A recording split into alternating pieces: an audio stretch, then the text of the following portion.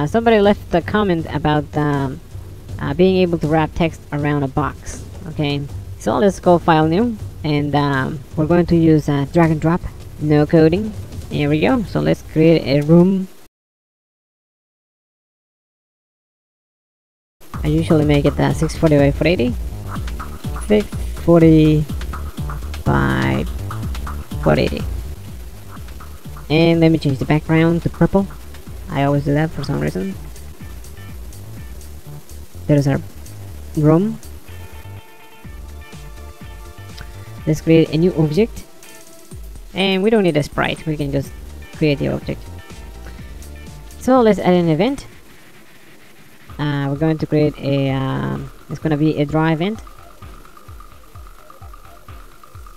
Okay.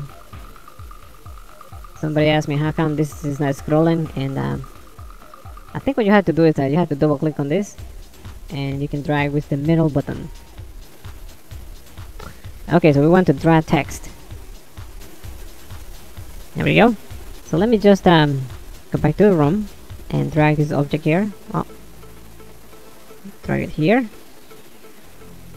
And if you run this now, you'll notice that uh, our text appears on the corner. Alright, so let's double click on this. And uh, we can change the position of this to relative. So this is going to appear wherever you put the, uh, the object. There you go. So the question was how to wrap text around it, okay? By default, uh, this is uh, draw, draw text. And, and you have 0, 0 for your X and Y. This here for your text. Hello world. So let's run this. And and there is our text there. Okay.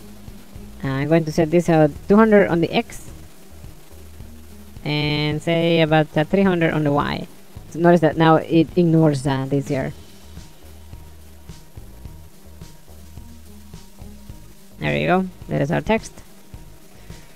So, um, we don't actually have to use that. We can use um, just draw, draw text, and it's the second one here. Uh, draw text, position, string, separation, and width. So select that, and all we have to do is um, x and y. That's our um, x and y position we're gonna set this at uh, the same 200 300 and our uh, string which is a uh, hello world. And then we have our uh, separation. Make it uh, make it 10 and our uh, width. Okay so now you don't have to use um, you don't have to hard code the width. You can get the width of a box or something Okay, for now we're gonna hard code it. Okay, uh, which will be maybe 300. 300 pixels. There we go. I just I just went hello world. I meant to go hello world. Alright. So this is a little too low. Let's set this at maybe 100. And we need a lot more text, okay? So let's type something here. Hello world. This is oops. This is a tutorial. Okay, this is a video about the Game Maker Studio 2. Wow, what an intelligent sentence. When you reach 300, the text uh, wraps around the uh, the box or the imaginary box. Imagine that the object was at 300. Uh, you could uh, create a box and you can um, get the width of the box, put in a variable, and you can punch in the variable here instead. Okay, so let me just type more text here. Lots of older stuff. Wow. See happens? There we go. You can see that the text that breaks at 300. I think that needs to be separated a bit more. Back to this back to draw here uh, try 15 for this. And that looks a lot better. Alright guys, smack the like button and I will see you in the next video. Bye now. Beginning of the level.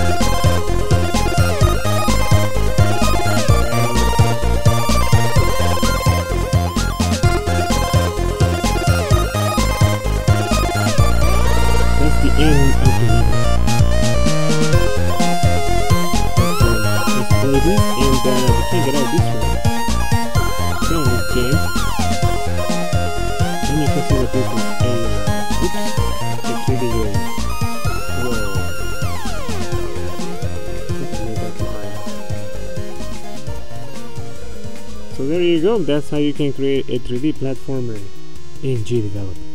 Alright, so don't forget to subscribe, like the video, and I will see you in the next episode.